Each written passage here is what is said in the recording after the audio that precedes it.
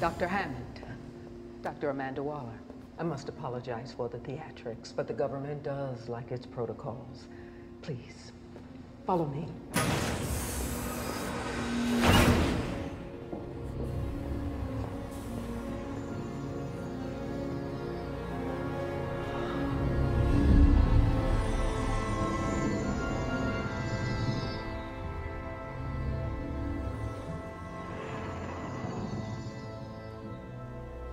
Is that what I think it is? An alien life form, Doctor.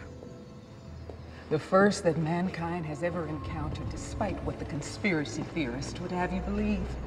We want you to do the initial assessment of its physiology. My God. Why me? As a xenobiologist, your skills are specifically suited to the task. Beyond that, I'm not at liberty to tell you. Hello?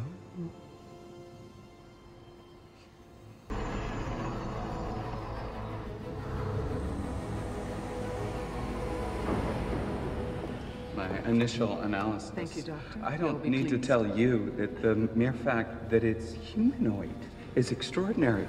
It's indicating a convergent evolution, or perhaps a common ancestor, and the implications of that uh, are staggering. I mean, where did it come from? This could completely change the way that the world views itself. You imagine the way that the public will react to this?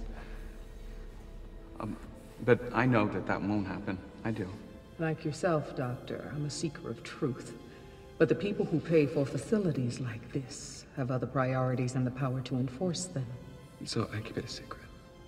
People like us have to work within the system, Doctor. We do the best we can.